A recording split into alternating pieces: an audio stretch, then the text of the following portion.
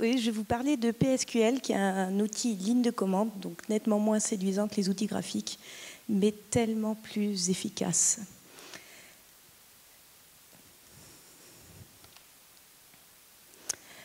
Oups. Euh, tout d'abord, je me présente. Je m'appelle Laetitia Avro. Je suis euh, euh, DBA et formatrice consultante PostgreSQL chez Loxodata. J'ai commencé mon métier de DBA en tant que DBA PostgreSQL. Et six mois après, j'ai rajouté à mon arc les, les flèches Oracle et SQL Server. J'ai fait ce travail pendant plus de dix ans et ensuite euh, j'ai aussi travaillé un petit peu sur du DB2, DB2 mainframe, DB2 UDB et DB2 AS400. Et j'en parle pas trop parce que je veux pas le refaire. Euh, j'ai travaillé sur des gros projets, notamment des projets de publics. J'ai commencé sur IGN, mais j'ai aussi travaillé sur le dossier médical pharmaceutique, le dossier médical personnel, j'ai travaillé pour beaucoup de ministères. J'ai travaillé aussi sur, euh, pour de, la grande distribution, euh, partout où il y avait du Postgres en fait. Et ce qui est sympa, c'est que j'étais chez un hébergeur à l'époque, donc j'ai eu beaucoup, beaucoup d'expériences rigolotes avec des contraintes, avec de la haute disponibilité, avec beaucoup de sécurité, avec des grosses charges, avec beaucoup de clients, enfin tout ce genre de choses qui font que la vie est très sympa tous les jours. Vous pouvez me suivre sur Twitter. C'est un compte que j'essaye de, j'essaye de tweeter que des choses techniques. C'est pas toujours le cas. Vous pourrez voir des licornes de temps en temps, mais euh, j'essaye de rester sur du technique.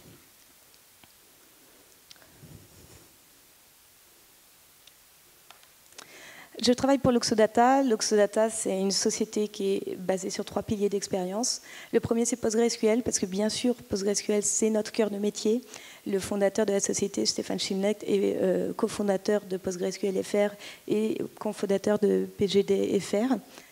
Donc on est vraiment au sein de la communauté, ça fait partie de notre métier. Euh, ensuite, on travaille aussi en mode DevOps. On essaie de faire circuler au mieux les informations entre le mode des devs et enfin entre le monde des devs et le monde des, ops, même si c'est pas toujours facile. Et enfin, on accompagne des clients sur des solutions cloud euh, pour s'assurer qu'ils maîtrisent vraiment ce qu'ils partagent sur le cloud. C'est vraiment euh, un besoin très important de maîtriser ce qu'on fait quand on va, part sur une solution cloud. Alors, de quoi on va parler aujourd'hui On va parler d'un outil différent. Un outil différent euh, parce qu'il est ligne de commande, donc parce qu'il est moins séduisant, euh, mais qui n'est pas si basique que ça. On commencera simplement par dire euh, dans quel cas l'utiliser, dans quel cas ne pas l'utiliser, puis je parlerai réellement de son utilisation, et enfin on, évoquera quelques outils tiers, je verrai en fonction du temps qu'il me reste. Est-ce qu'il y a quelqu'un ici qui préfère les outils lignes de commande aux outils graphiques Ouais, bien.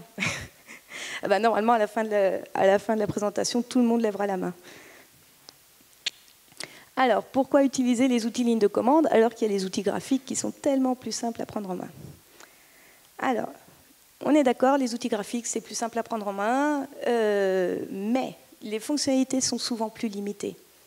Ensuite, euh, on ne peut pas enregistrer ce qu'on fait sur un outil ligne de commande, c'est pas euh, un outil graphique, c'est vraiment pas simple d'enregistrer ses actions, ou alors faut enregistrer une vidéo et, la regarder, c'est pas sympa. Euh, et on peut, c'est beaucoup plus difficile de scripter ce qu'on fait. Donc ça, en termes de démarche de production, pour moi, c'était vraiment rébarbatif. C'était pas utilisable. Et je sais ce que je dis puisque je suis aussi, j'ai été DBA SQL Server pendant longtemps.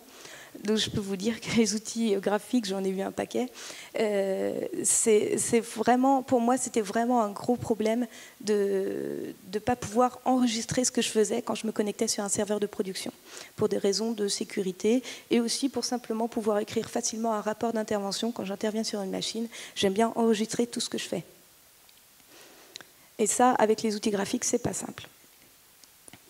Du coup, la question, c'est quand est-ce qu'on va utiliser des outils euh, graphiques? Pour moi, le seul cas où il y a un intérêt à utiliser des outils graphiques, c'est quand on fait des requêtes SQL moins d'une fois par semaine. Dans ce cas-là, OK, vous embêtez pas à prendre les lignes de commande, restez sur un outil graphique. Si vous utilisez, si vous faites du requêtage SQL plus d'une fois par semaine, vous avez intérêt à passer sur les lignes de commande, vous serez plus efficace. Alors, du coup, les outils lignes de commande, pourquoi les utiliser alors déjà en termes de richesse de fonctionnalité, je dirais aussi en termes de sûreté de fonctionnalité, puisque l'outil PSQL est l'outil officiel PostgreSQL, donc il est maintenu par la communauté PostgreSQL. Et du coup, euh, en termes de sûreté d'utilisation, pour moi, il est bien plus sûr que n'importe quel autre outil graphique qui ne fait pas partie du corps de PostgreSQL. En termes de richesse de fonctionnalité, bien sûr, et aussi euh, là, je vais pouvoir enregistrer tout ce que je fais. Toutes mes sessions terminales sont sur un, un Tmex qui enregistre automatiquement toutes les, sessions que je fais, que ce soit les commandes que j'ai passées ou le résultat de ces commandes. Tout est enregistré dans un fichier texte. Ensuite, quand on est sur un, fichier, sur un outil ligne de commande, ben, on va pouvoir scripter. Et euh, par contre, le gros inconvénient de ce genre d'outil, c'est que l'apprentissage est plus lent et plus difficile. Mais ça ne devrait pas vous rebuter de vouloir apprendre quelque chose normalement. Et autre, autre chose, c'est euh, quand je travaillais chez un hébergeur, on était sur des serveurs de prod qui n'avaient pas de terminal X pour des raisons de sécurité. On était sur du Linux from scratch. Et le terminal X n'étant pas, enfin, pas nécessaire et il n'était pas installé sur, les serveurs de prod. Donc je n'avais pas d'accès graphique à 2 heures du matin quand il y avait un problème de prod. Et ce n'est pas à 2 heures du matin quand il y a un problème de prod que vous avez envie d'apprendre à utiliser un outil. Donc c'est aussi pour cette raison que j'ai toujours euh, privilégié ces outils-là. Du coup, la question c'est quand est-ce qu'on doit les utiliser? Voilà, tout le temps. Euh, c'est pas plus compliqué que ça. Maintenant, on va voir comment ça marche. Alors, euh, il y a deux modes d'utilisation à PSQL. Le mode interactif, qui est le mode que vous allez pouvoir utiliser pour envoyer des requêtes, et le mode batch. Je ne vais pas parler du mode batch parce qu'il est tellement évident quand on veut scripter qu'on va passer en mode batch que euh, je me doute que vous n'aurez aucun souci à chercher la doc parce que vous en aurez besoin si vous voulez être en mode batch. On va parler du mode interactif, c'est-à-dire quand on est connecté à la base de données avec PSQL comme seul client. Alors, je pense que ça, vous connaissez. Donc, les connexions à PostgreSQL, donc avec l'hôte. Alors, dans l'hôte, soit on met euh, une IP, soit on met le répertoire pour stocker le socket Unix, puisqu'on peut faire une connexion distante ou une connexion locale. Dans le port, euh, c'est le port d'écoute du serveur, par défaut de 5432. Euh, en utilisateur, on met l'utilisateur de la base de données, par défaut le même que l'OS, ou euh, par défaut celui qui est dans la variable d'environnement PG user, et, ou sinon celui qui est dans le, le même que l'OS. Et la base, c'est la base de données à laquelle se connecter. Par défaut, c'est la, variable d'environnement PG, DTBs ou PGDB, quelque chose comme ça. Euh, ou sinon le même que le nom de l'utilisateur. Donc ça, c'est classique. Vous avez certainement déjà fait une connexion avec PSQL en utilisant ça. Il y a des choses plus sympas. Euh, quelque chose qui est très peu utilisé dans, euh, dans le monde Postgres, c'est le fichier de service. Et à mon avis, ça mériterait d'être bien plus démocratisé. Le fichier de service, c'est l'équivalent d'un TNSNAME.aura. C'est-à-dire c'est un, fichier dans lequel on définit des noms de services et euh, sous ce service, on va définir l'hôte, le, port, etc. Et du coup, ensuite, pour s'y connecter, il suffit de donner le nom du service. C'est très intéressant parce que ça permet de faire passer un fichier de service à un collègue qui vient d'arriver en lui disant, voilà, le service, c'est celui-là pour te connecter. L'autre moyen de se connecter, c'est simplement en donnant complètement la, chaîne de connexion, qui est du type PostgreSQL 2 2 slash, le user, 2 le password, at, l'hôte et le port, slash dbname, point d'interrogation, paramètre 1 égal, etc. Euh, alors ça, c'est moins utilisé parce que pour un humain, c'est moins sympa. Par contre, pour un, pour un batch, ça peut être très intéressant d'utiliser des chaînes de connexion. Le prompt par défaut. Donc, quand on arrive sur PSQL, on a un petit message de bienvenue. Il nous dit que si on veut de l'aide, il faut taper help. Et on a un prompt par défaut qui affiche euh, le nom de la base, un caractère que j'appelle le caractère d'aide, qui est le égal ici, et ensuite juste un chevron pour indiquer qu'à partir de là, c'est vous qui écrivez. Ce caractère d'aide, c'est un peu subtil, mais en fait, il change en fonction de ce qu'il attend. C'est-à-dire que s'il y a égal, ça veut dire qu'il attend une nouvelle commande. Mais s'il y a un moins, ça veut dire qu'il attend la suite de la commande. S'il y a une parenthèse, c'est qu'il attend une fermeture de parenthèse.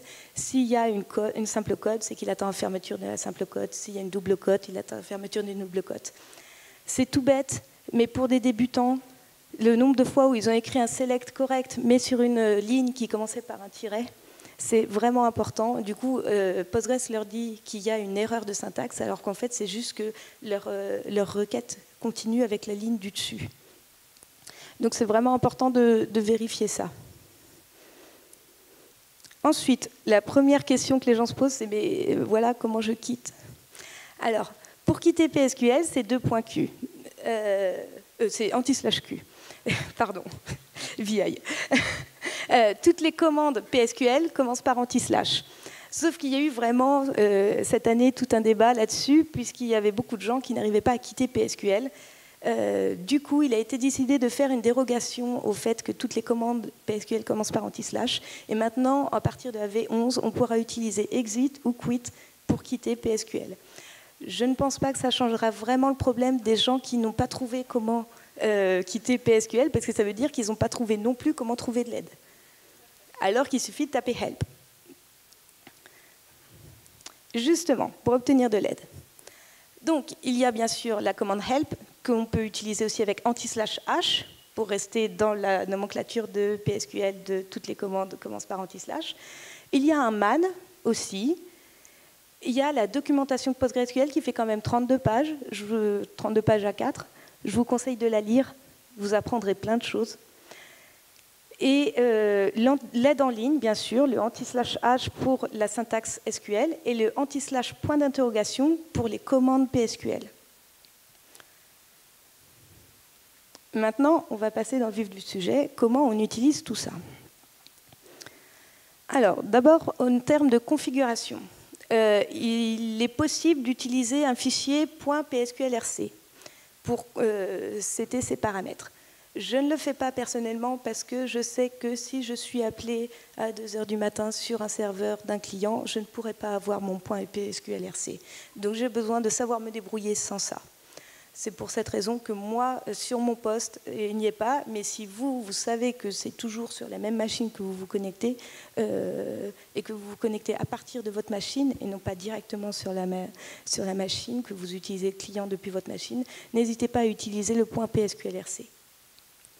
On peut euh, donner des, setter des variables en utilisant soit anti-set qui permet de setter une variable PSQL, soit anti-p7 qui permet de setter les variables d'affichage, soit anti-slash setEnv qui permet de setter les variables d'affichage d'un résultat.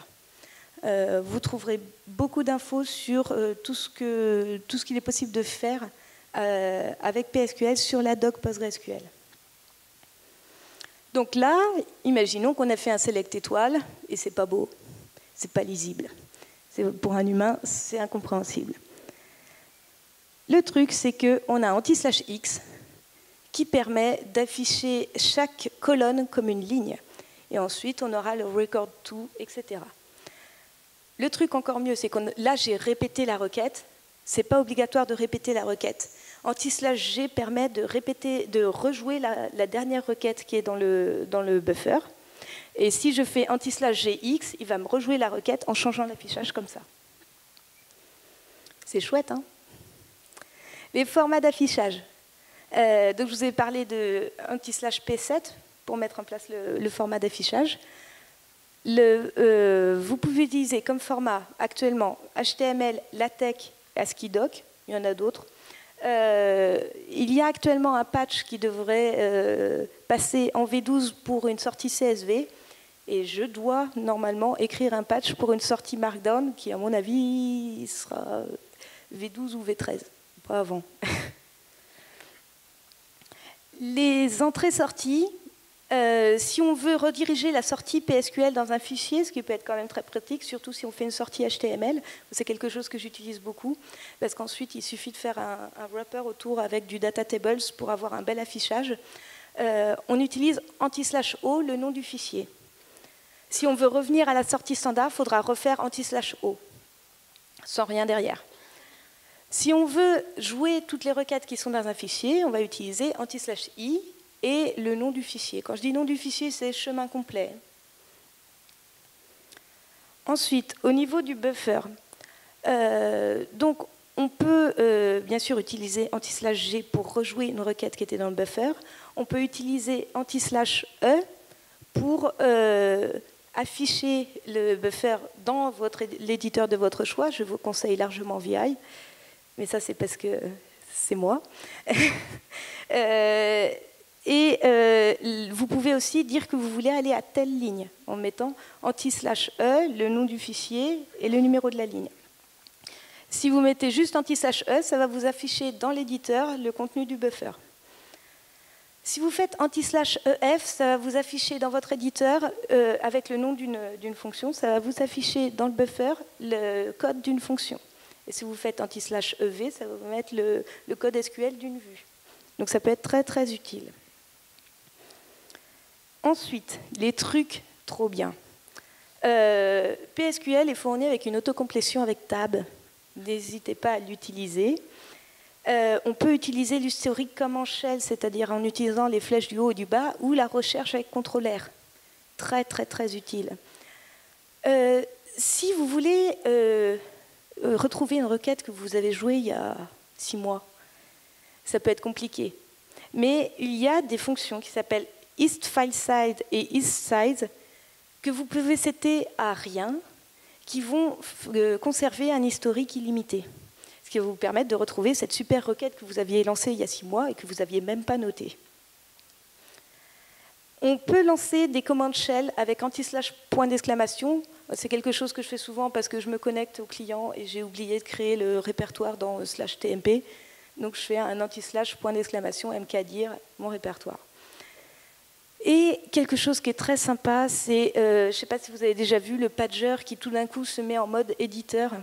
Quand vous avez une requête qui est suffisamment longue, au lieu de l'afficher sur la sortie standard, vous pouvez utiliser anti-slash p7 pager off pour empêcher ce genre de comportement que moi je ne supporte pas. Ensuite, on peut très bien explorer une base de données avec PSQL. Comment ça marche? Alors déjà, vous pouvez récupérer des informations. Anti-L va vous lister les bases de données. Anti-C va vous permettre de vous connecter à une autre base de données. Anti-Coninfo va vous donner les informations de connexion.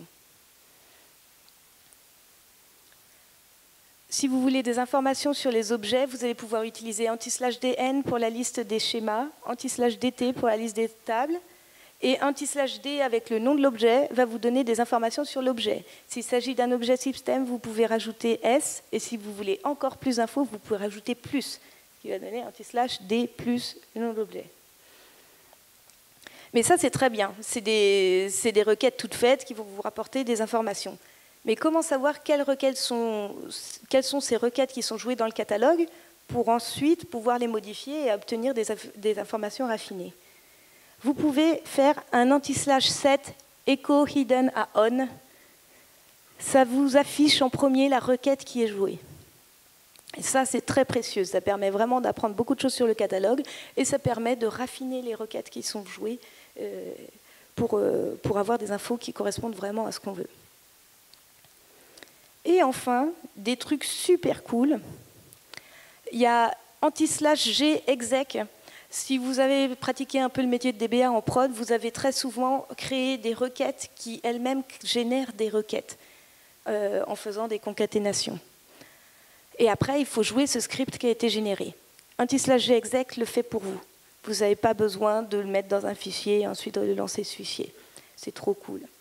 À partir de la V11, il y a anti-g desk qui arrive, qui va vous donner le type de chaque colonne de votre table. Euh, n'hésitez pas non plus à utiliser le anti-timing à on pour, voir pour, avoir des informations de, timestamp sur, vos requêtes. Et un autre truc que j'ai pas mal utilisé, c'est anti-watch qui permet de rejouer euh, une, requête euh, à l'infini et ce qui permet de tester vraiment, ne le faites pas en prod, hein, mais ce qui vous permet de tester vraiment ce qui se passe en, jouant de manière régulière la même requête. On a d'autres choses. On peut aller plus loin.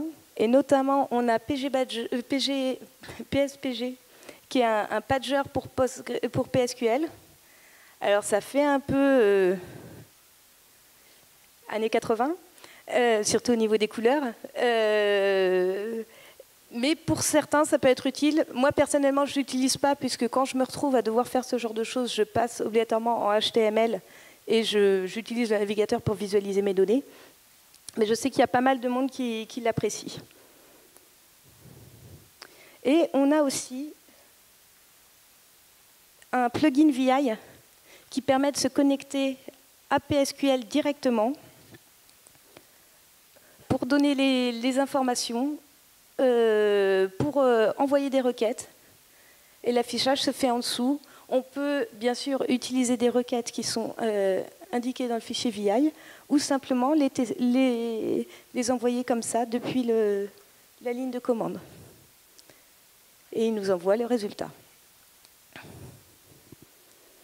le, plugin s'appelle euh, euh, VIPSQL. Et je suis un peu en avance, mais ça tombe bien, je crois. Parce que la seule chose que je voulais vous dire, du coup, c'est qu'il va falloir vous méfier des outils plus rapides, plus faciles et plus séduisants.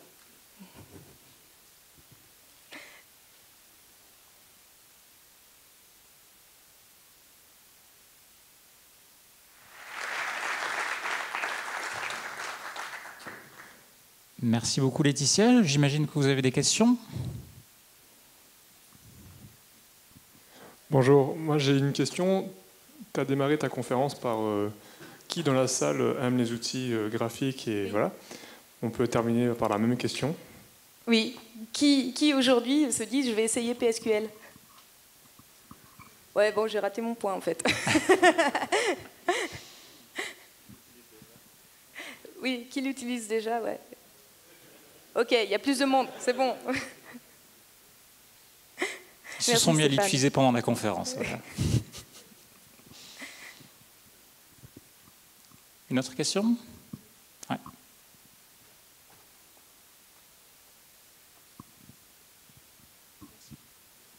Euh, J'ai une toute petite question sur l'autocomplétion en fait. Oui. Euh, est-ce que tu saurais me dire euh, quels objets ça couvre? Par exemple, est-ce que ça va jusqu'aux colonnes Alors, le, problème des colonnes, c'est quand tu commences à écrire un select, tu n'as pas dit de quelle table. Donc, du coup, il ne peut pas compléter les colonnes dans le select. Par contre, dans la close where, il peut. Ok, donc ça explique pourquoi une fois sur deux ça marche pas quoi. Oui. Ou alors il faut préfixer, faut préfixer tes colonnes par le nom de la table.